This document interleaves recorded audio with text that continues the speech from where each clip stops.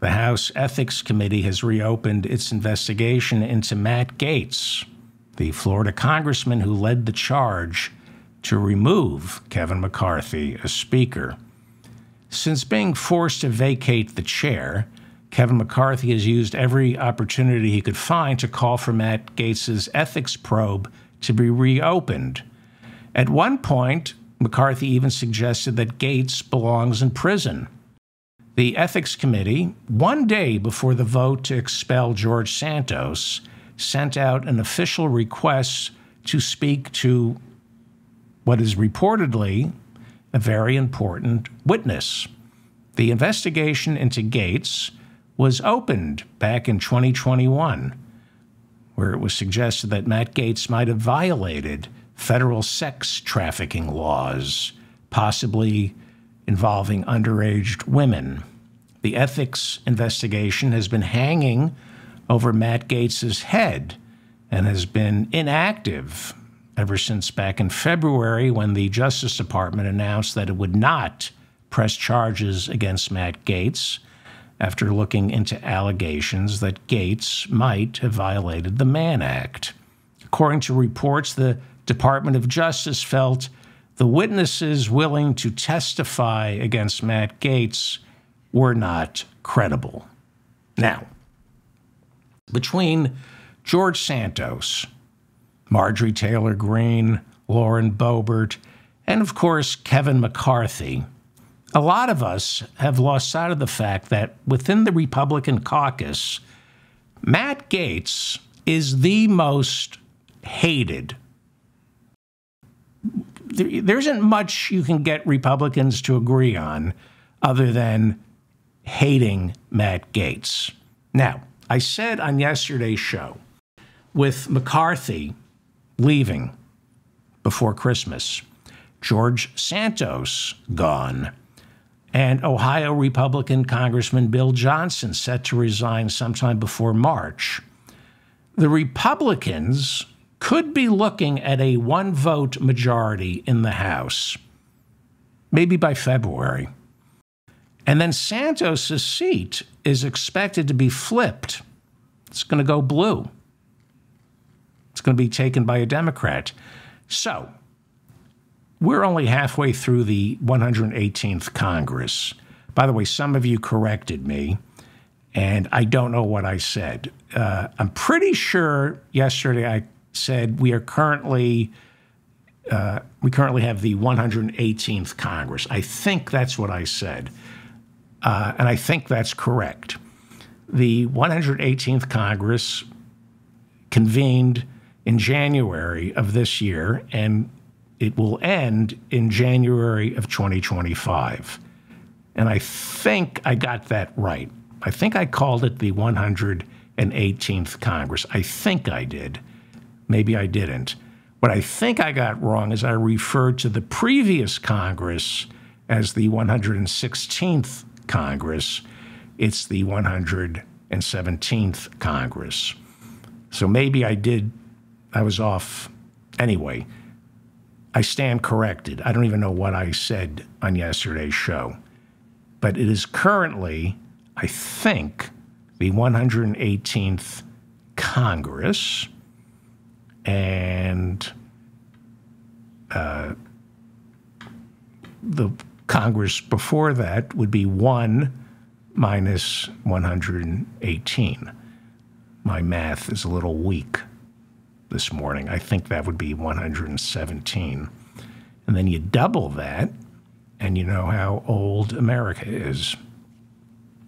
So I apologize for the confusion. Anyway, we're not even halfway through the 118th Congress. What do you think the odds are that Democrats end up with the majority sometime next year? I am hearing reports of infighting within the Republican caucus that borders on the cataclysmic.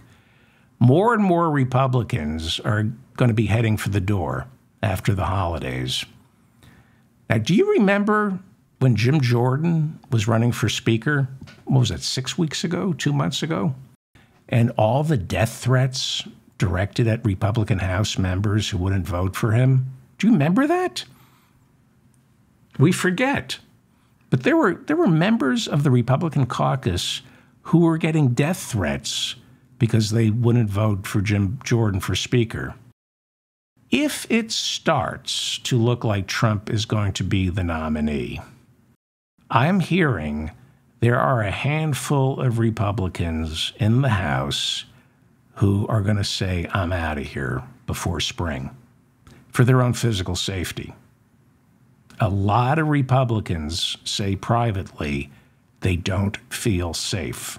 Their families are not safe, not only in Washington, D.C., but back home. And a lot of Republicans want out. Not good. Not good. So, what happens? You get three or four Republicans who say, I can't take it anymore. I'm coming home. Then the Democrats have the majority. Does, does Hakeem Jeffries become Speaker? What happens? Kevin McCarthy yesterday said he was endorsing Donald Trump for president and would consider taking a cabinet position if Trump offered him one that McCarthy felt was appropriate. Maybe you'd like to be ambassador to douchebagia, the country of douchebagia. I think that's the only appointment that would be appropriate for Kevin McCarthy in a Trump administration. It's incredible. It's incredible. McCarthy is leaving. He doesn't have to endorse Donald Trump. He could leave quietly, go take a job on K Street, but craven ambition always gets the best of Kevin McCarthy.